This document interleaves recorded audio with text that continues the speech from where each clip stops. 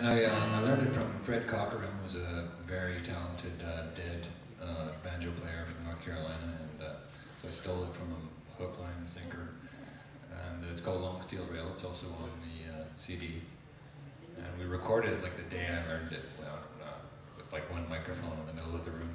So that's that's what you'll listen to on the CD. But we're gonna try it live, which we've never never tried before. I think it'll go well. That's right.